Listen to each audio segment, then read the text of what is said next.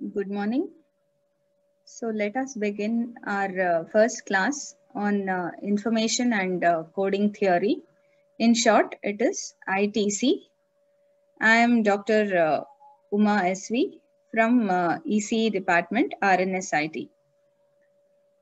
Information theory and coding, as per our current syllabus, has 40 hours of uh, total teaching and three credits. The learning objectives are to understand the concept of entropy, rate of information, and order of the source with reference to both dependent and independent sources. Study various source encoding algorithms to model discrete and continuous communication channels. And last part is to study the various error control coding algorithms. So let's see, I'll be talking about modules four and five. That is our last course objective, which will include the last two modules. Module four is regarding error control coding, where we are going to code the output of an information source in by adding lots of redundancy. We are going to add additional bits so that we'll be able to transmit through the channel and at the receiver you'll be able to detect and correct errors using those extra bits which you added. So you'll be adding so much of additional bits for that. And under that technique, under error control coding, we also call it as channel coding. Under channel coding, we'll be studying many different types of codes. Some of them are uh, linear block codes. Under that, you also study cyclic codes. And in module five, we'll be talking about convolutional codes. So we are going to talk about all these various coding techniques to help us detect and correct channel induced errors. Let's try to understand what would be the outcomes of this course, especially modules 4 and 5. So at the end of this class, you would be able to determine a code word comprising of check and data bits using either linear block codes or cyclic codes or convolutional codes. I told you we'll be talking about three coding techniques. So you'll be using any one of them and you'll be able to analyze you'll be able to determine a code word. Next, you'll also be able to design encoding and decoding circuits for uh, either of the codes, linear block code, cyclic or convolutional codes. So you'll be able to do all these once we complete studying modules 4 and 5. Now coming to basic introduction to information theory. Since uh, you have uh, you would have studied the first part information theory, but it would be unfair to study any part of information theory without talking about the father of information theory, also known as Claude Elwood Shannon. His groundbreaking paper, A Mathematical Theory of Communication in the year 1948, helped us so much that it enabled digital communication or transmission of digital data over various channels. And let's see model of a digital communication system. You have the information source. Then usually we will, information source is something which generates data either in the form of bits right? Data is generated in the form of bits or uh, voice, video, all that is information source or data coming out of information source. What is information basically? You can say the idea which originates in the human mind takes different forms. It takes the form of voice or speech. It takes the form of an image. It takes the form of uh, say temperature, pressure. There are so many ways in which the idea can come out. And that is information. And any device which gives out information is a source of information. Okay. And this is given through a communication channel and once it passes through the communication channel, it should reach the destination. And please remember the source of information can be in one city, the destination can be in another, and we can communicate from one part to another part of the world using a digital communication system. Okay. So as I told you, the information source, this is a basic model. Now we'll try to add few blocks to make it much more efficient. So I, otherwise the simple communication cannot be done from one city to another. Far off you can't do. So you have to add few more blocks to make it an efficient communication system. So information source, we say example can be a message using English language, symbols in the English language, A to Z, whatever. Then we'll be performing coding using an encoder. So what we are going to do here, we are going to convert the English-like symbols into a binary sequence, zeros and ones. Okay. And then when it goes to the channel, channel can be so many different things like it can be wired or wireless. If it is wired, it can be a coaxial cable, it can be a twisted pair, it can be a fiber. Okay. So if it is, um, what do you say, wireless, then it can be air, water, anything like that. So depending upon the requirement, the channel will change. And as the channel changes, the way we are going to transmit over the channel will also change. And please understand, channel will always have noise affecting it. So any data which travels through a channel is sure to be affected with noise. And this cannot be avoided the only way how we can overcome noise is at the receiver, we should unmake the changes what the noise has done. Undo the changes. Noise has made few changes in the data. You just undo those changes. That is possible for us using various processing techniques. Okay. And that is what we are trying to do in our error control coding.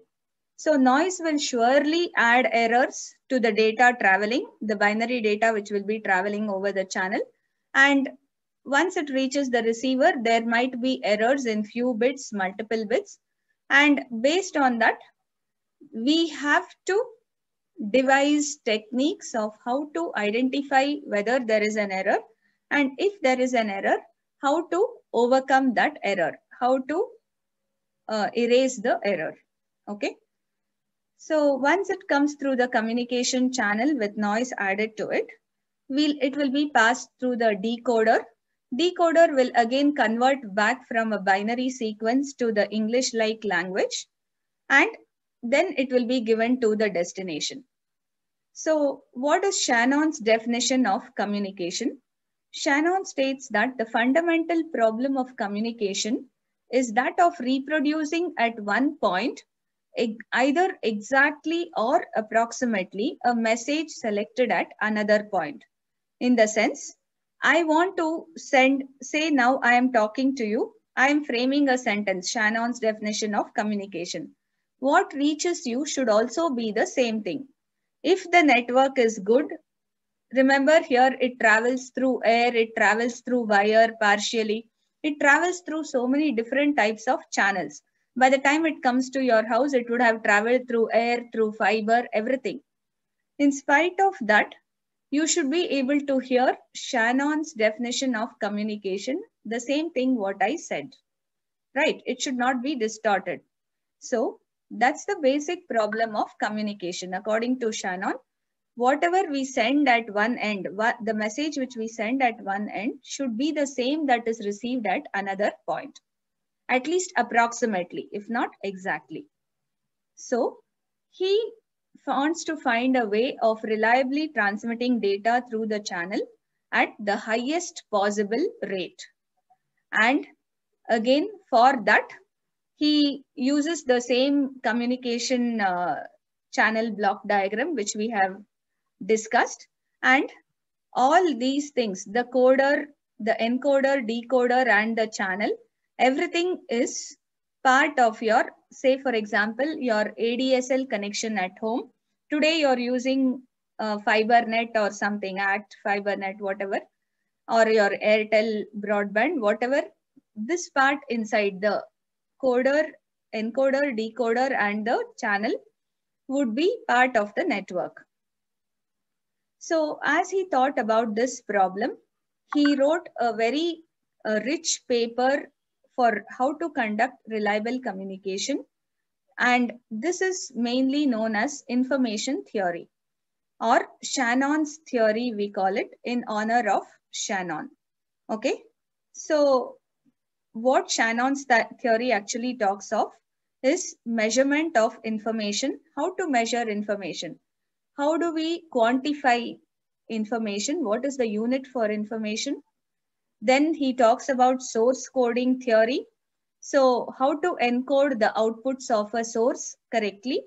And finally, channel coding theory, how to conduct error-free communication or how to detect and correct for channel-induced errors. As data travels over a channel, we know errors would be induced. So how would I detect them and correct them? These are the main three essential components of Shannon's 1948 paper. And his vision was something like this. The data should pass through a source encoder, then a channel encoder, then through the channel. And on the reverse side, all what we have above, all what we have above is the transmitting end and after the channel all the same units but the opposite what I have below are at the receiving side. So data which we have to send is first passed to a source encoder. The job of this source encoder as I told you is to convert the output of this information source or the data from English like language to binary format efficiently. And another important job of the source encoder is to remove the redundancy in the data. Okay, for example, when we are talking, see, if I don't give any space between words, the sentence will not be meaningful at all. If I don't give gaps between words, do you understand what I speak? It's very difficult. Those gaps are very important for us to understand the language correctly or what somebody is speaking correctly right? So, but do I need to transmit those gaps? Why should I transmit them when there is nothing, no information carried in those gaps? But that is the characteristic of the language so that only when I give gap between words, people will understand what somebody is trying to tell. So what they do is they can try to uh, remove those gaps when they are transmitting and add back those gaps at the receiving end. This is normally done in a telephone communication and we call that as removing redundancy in data. So anything which is which repeats itself or which is not so important, those things can be removed and that is also done by the source encoder. Channel encoder takes care of error control coding, as I told you. So the channel is always prone to noise. Any data traveling on the channel will be uh, getting added with noise or even multiplied with noise. Okay, it depends on how noise affects. That effect of noise will modify the data and we add additional data bits at the channel encoder here. At the transmitting side channel encoder, we are going to add extra bits to help us detect and correct errors induced by the noise in the channel. And at the decoder, we do all the opposite jobs. At the channel decoder, I am going to receive the data. I'll use those extra data bits which we had sent and find out if there was an error if there is an error, I'll either find how to correct that error all or I can ask for retransmission of that data. Then at source decoder, we are going to convert from binary back to the English like language or something which we had sent, numbers, words, whatever. And only then the destination user will understand what was the message. This was Shannon's vision. And along with source coding and channel coding, all of you should remember uh, we can't send the output of channel encoder directly on the channel like air. We have to do something known as modulation. All of us know what is modulation.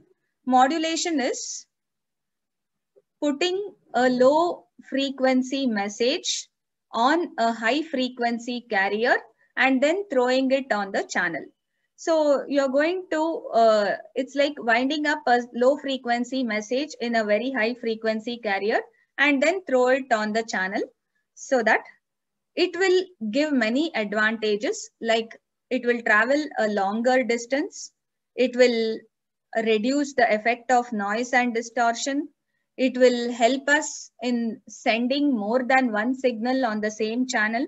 I can send hundreds or thousands of signal in the same channel if I am able to modulate. And it will also help us in uh, adjusting the bandwidth of the signal. There are so many advantages. So modulation is a must in communication. So before sending the channel encoding output on the channel like air, we have to modulate with a high frequency carrier and then we have to use a transmitter which will have many amplifiers, including a power amplifier, which will amplify the power of the signal and transmit. So this signal travels through air over a long distance and antenna is the interface which will convert the electrical signal into an electromagnetic wave. It's going to convert from electrical signal to an electromagnetic wave and that data travels the channel in the form of electromagnetic waves. Okay. So at the receiver, again, we need a receiving antenna to receive it. And then we need to do demodulation. That is, we have to extract the low frequency message or data from the high frequency carrier. Then we have to do channel decoding to detect and correct for errors. And then source decoding to uh, convert from binary to the actual message and the actual information will be received by the destination. So let's move on to uh, the same thing. Again, the information, whatever I explained just now, information to be transmitted comes to the source coder. Then channel coder, it gets modulated, transmitted by amplifying and then through an antenna through air it gets received demodulated decoded in the channel source decoded and finally the actual information will be received by the signal. So let's take a few examples on how this works. A simple example is disk storage. Here you just observe the block diagram how it looks the actual data you can see will first be zipped. What is zipping? Zipping is to convert a large file into a small file. So we are going to convert huge amount of data into a lesser amount of data by doing a zip operation. So this is nothing but equivalent to a source encoder. A source encoder does a similar job it will convert a bigger file to a smaller file by removing the redundancy in the data. Okay. Finally, after zipping, we are going to add cyclic redundancy check. CRC stands for cyclic redundancy check.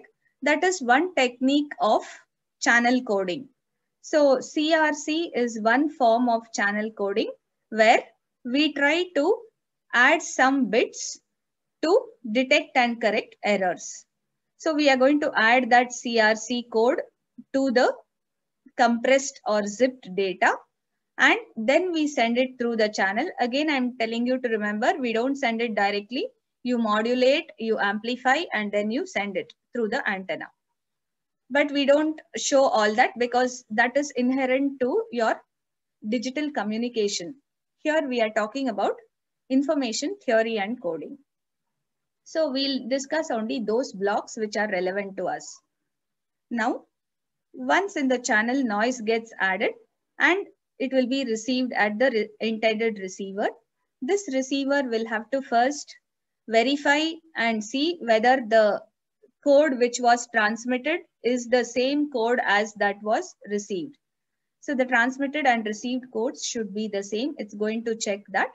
Then it will unzip the data. If it doesn't match, it identify it means that there is an error. If it matches no error, it passes on to the next. If there is an error, either it finds a way to correct error on its own or it can request for a retransmission by sending a feedback signal to the transmitter. Okay.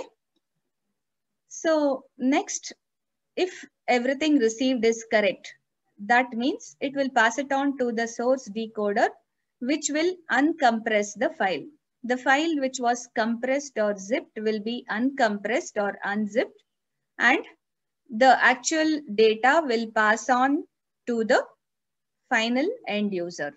Okay.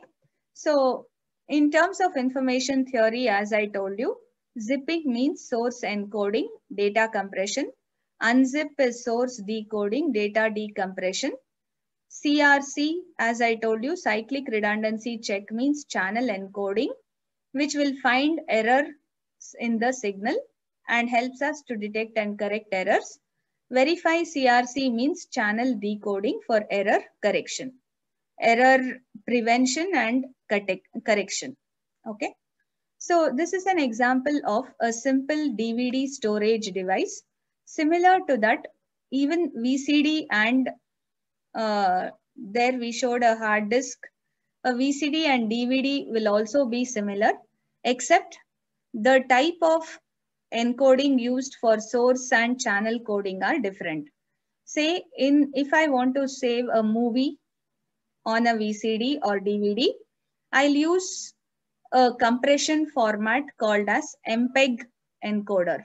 So this MPEG is a specialized uh, moving pictures and encryption group or encoding group it will motion pictures encoding group. It will help us encode the data along with compressing the movie. It will compress the movie by removing redundancy and it will, it's like, just like the zipping operation. It will compress and encode. Source encode, we call it as. Then we have something known as Reed-Solomon encoding. Anyway, you'll be talking about all this a bit later. I'm just telling you uh, practical applications of this subject. So using uh, Reed-Solomon encoding, we'll, this is used for channel error detection and correction. This is source encoder to convert the output of a source into binary format and to compress. Channel encoding is to detect and correct errors. Then it will be put on the CD or DVD. And when we want anybody who has that DVD or uh, VCD, when you want to watch it, the reverse process happens. So whatever is encoded using this Reed-Solomon encoding algorithm will be decoded. Okay. Here chances of error are lesser because it's not going through any noisy channel. It is only on a DVD. Only when we have some scratches on the DVD or something, you will see those bits are corrupted. Okay. And so we will do error detection and correction here also. And once we are able to verify that everything is correct, then we'll pass it on to the MPEG decoder, which will do source decoding. It will decompress the data and it will pass it on to the TV where you could watch the movie as you need. Okay. So this is about a VCD. Similarly, in a cellular phone, you observe how it happens. In each of these devices, we are seeing day to day, we are seeing all information theory and coding happening. Here we are talking about a cellular phone. You see first the data coming out of the cellular phone, whether it is voice or your message, WhatsApp or whatever you take. So whether it is voice or message, first let's take for the example of voice. We are talking over the phone. The speech is encoded using one of the speech encoding techniques. There are many speech encoding techniques. Any one could be used and encoded. That is source coding. It will also compress the voice. I told you gaps can be removed. All that can be done. When we are talking, the gaps in between words could be removed. That is compression. So you compress the data and you encode, convert from voice to binary. Okay. And coming to the channel encoding, we use a technique known as convolutional coding. We'll be studying about convolutional coding. That is a beautiful technique which is used in mobile phones and cellular phones. Now the data after modulation is transmitted on an antenna through any channel and once it is received, you have to do the reverse process. Okay. Lastly, we'll see a wireless LAN network. A wireless LAN network in the standard format IEEE 802.11b will use this block diagram. Again, the data is compressed or zipped. Then it is convolutionally encoded so zipping is source coding, convolutional coding is channel coding. It is passed on through a noisy channel. At the receiver, it will be first convolutional decoding, CC decoding. Then it is unzipped or decompressed source decoding. And finally, it is passed on to the end user. Okay. This is also known as the wireless LAN standard. So just before ending this session, I want you to know why we have to do this. Why do we do this error control coding? I told you we'll be talking about the error control coding part, modules 4 and 5. Why should we do error control coding? To increase the resistance of the digital communication systems to channel noise can be done using error control coding. So the resistance of the system is improved against noise induced in the channel. How to do it? If we have to do this correctly, you have to map the incoming data sequence into a channel. Whatever data comes into a channel should be mapped to an outgoing data sequence and an inverse mapping should also be available in such a way that the overall effect of channel noise on the system is minimized. So the effect of noise on the system will be minimum if we are able to do this mapping correctly, mapping of the incoming data to the outgoing data in a channel. And when we do this, as I told you, we are going to add more bits or we are adding redundancy in the channel encoder so that those extra bits, we also normally call them as parity bits. Those additional parity bits which we are going to add will help us detect and correct errors accurately. Okay. So the error control for data integrity, it may be exercised in two ways, either using forward error correction or using automatic repeat request for transmission, retransmission. You can either ask for retransmission telling an error was detected or you can try to correct that error once you know it was detected. So you can look at this block diagram with everything combined. Here we are showing only the channel encoder part. So we have a discrete data source. In the sense I already have a binary source which is given to the channel encoder and these terms within the dotted line, the modulator, the channel and detector are together called as a modem. All of you are familiar with modem, which we use in our day-to-day -day lives. Modulator, demodulator along with the channel is the modem. Then we have channel decoder and the end user. So the discrete source generates information in the form of binary symbols. Channel encoder accepts message bits and it adds redundancy to produce encoded data at a higher bit rate.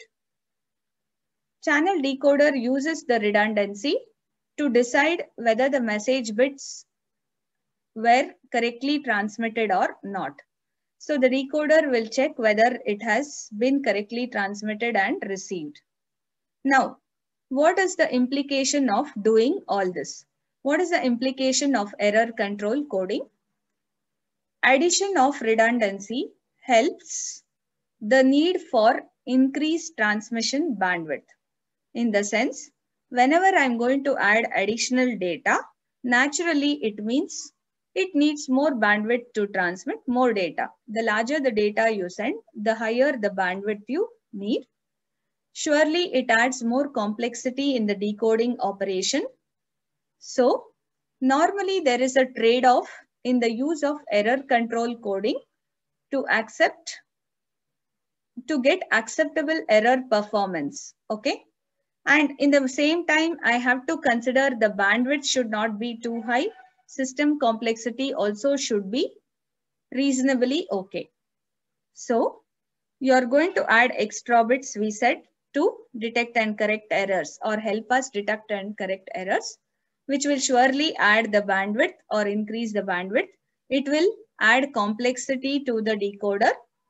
So usually we try to do in such a way that the error performance is acceptable and the in terms of bandwidth and system complexity, everything is tolerable. So there are two major types of error control coding techniques, the block codes and the convolutional codes. And one more major implication which you should remember when we are trading off bandwidth and uh, transmitted signal power.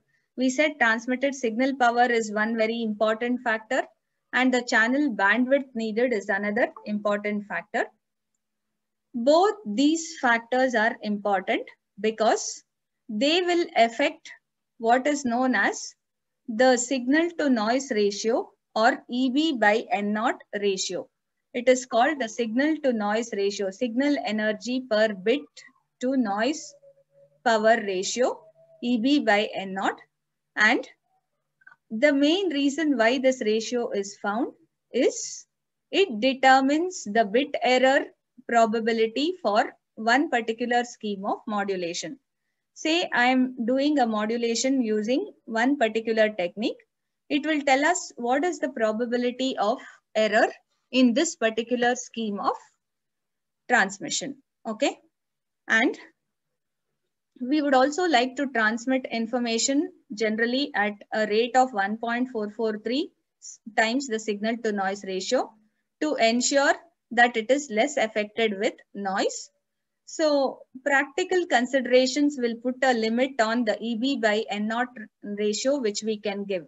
We can't give any amount of energy on the signal. We can transmit only so much signal energy and accordingly in order to see that that EB by N naught should not become too high, we have proper modulation schemes which will give us uh, not a very high EB by N naught ratio, but simultaneously the error will also be minimized. So there is a good trade-off happening. EB by N naught should not be made too high because I don't want to transmit too much power. So other than uh, the cost and uh, there are also health hazards, right? Too high power transmission is not permitted. There's always a restriction on the amount of power transmitted. And other than that, we also have to what? Take into effect the error, probability of error. So the bit error should be as less as possible. You should have medium to low SNR or EB by N naught ratio. SNR stands for signal to noise ratio. You should also have acceptable probability of error and good signal quality. There can be two types of errors in communication. Uh, one is the type of errors which arise due to uh, random um, random bit change. We call them as independent errors or random errors. And the other is uh, due to some impulse noise, a burst impulse noise. And there a group of bits will change. We call them as burst errors. So the first type of error, as I told you, independent errors or random errors are mainly caused by Gaussian noise in the system. And it is the main concern in the design and ev evaluation of modulators, demodulators for data transmission. And uh, the main sources of this Gaussian noise are thermal noise and shot noise, both in the transmitting and receiving equipment what happens at the transmitting side will not be so important for us because uh, there the power level of the signal is high. Only what happens at the receiver, we have to take care. So since the received signal amplitudes will be very small, the noise at the receiver will surely affect the received signal and it will modify the data. Similarly, even when the data goes through the channel also, different modifications can happen. So transmission errors induced by this kind of noise, the Gaussian noise, we normally call this as additive white Gaussian noise because this will be additive in nature. It adds to the actual data. So the noise gets added to the data and uh, it can be taken care of if we design efficient uh, processing systems at the receiver. So the discrete channel in this case, it can be modeled as a binary symmetric channel. You have studied different types of channel and the transmission errors due to Gaussian noise are called as independent errors or random errors. The second type of error which is encountered due to impulse noise. I told you impulse noise is something which is a sudden rise in noise levels. It can be uh, something like when a lightning comes or something like that. Okay. So this impulse noise will result in a sudden spike in the noise, whether it's in the channel or in the receiver and multiple bits of data will get changed or corrupted at the same time. So a noise burst usually affects more than one symbol or bit and there will be dependence of errors in successive transmitted symbols also. So we call this as burst errors, the one caused due to impulse noise, the one caused due to Gaussian noise, additive white Gaussian noise are called independent or random errors. So some few ways of affecting or uh, getting error detection and correction properly is to increase the signal power, to reduce diversity. Diversity is a technique where uh, a signal travels from source to receiver in many paths and uh, for that we try to uh, send the data uh, redundantly. Say once it travels through line of sight path, then I'm going to send it second time in some other path. So I'll transmit data redundantly. Okay. And uh, so many things could be done. Retransmissions. Whenever you detect an error, you ask for retransmission. Next is forward error correction. The, this is another technique of correction. Okay. So let's see what is this forward error correction. The key idea of forward error correction is to transmit enough redundant data to allow the receiver to recover from errors all by itself. That's where we are going to use the various coding techniques. So we will add so much of redundancy that once the receiver detects an error, it will try to correct all those errors on its own. So no retransmission will be requested in forward error correction. The major categories of forward, forward error correcting codes, which we are going to study, are block codes. Under that, we'll study linear block codes and cyclic codes. Then uh, Reed-Solomon codes, we don't study in detail. Convolutional codes, we are going to study and not turbo codes also. So please understand forward error correction means to transmit enough redundant data so that the receiver will be able to detect and correct errors on its own. Whereas the second technique is the automatic repeat request scheme or ARQ scheme, we call it as. So what happens here, if some error is detected, a transmission, retransmission request will be sent to the transmitter. The transmitter will be asked to retransmit the data. Okay.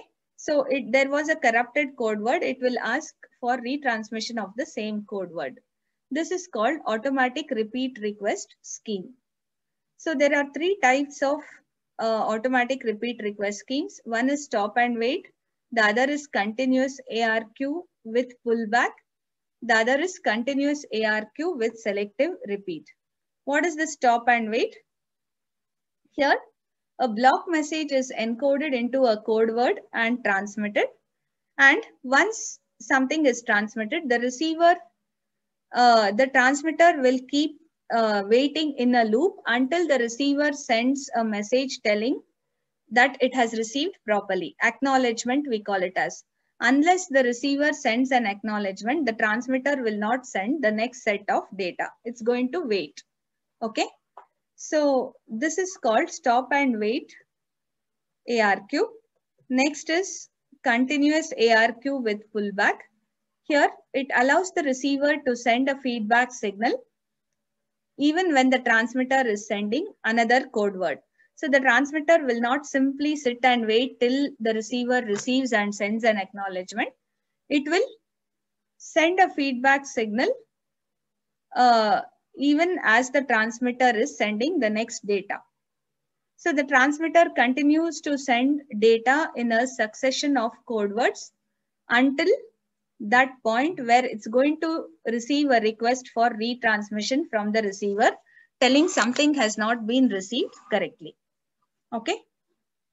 So it then stops and pulls back to the particular code which was not correctly decoded and it will send that complete sequence which wasn't received correctly again. Okay. So this is called sorry, continuous ARQ or go back N protocol we call it as. Selective repeat is here. This is also an ARQ technique. This retransmits the code word that was incorrectly decoded only. So say I'm going to send the data one by one from transmitter to receiver. Say the receiver is also receiving data continuously. Let me say 10 bytes of data I had sent. The bytes 1 to 5 are all proper and it's received correctly. Byte 6, there is an error. So what happens at the receiver? The re receiver can ask for retransmission of only that particular byte 6, which was an error, rather than resending the whole thing again. But here in the continuous ARQ, everything will be resent when one byte is in error. But here, even if one or two bytes are in error, it won't ask for everything to be sent. Only those which weren't received should be sent again. Okay. So I think we will talk about block codes and other things in our next class. Now we are introduced to what is information theory and how we can have error control coding. Okay. Thank you.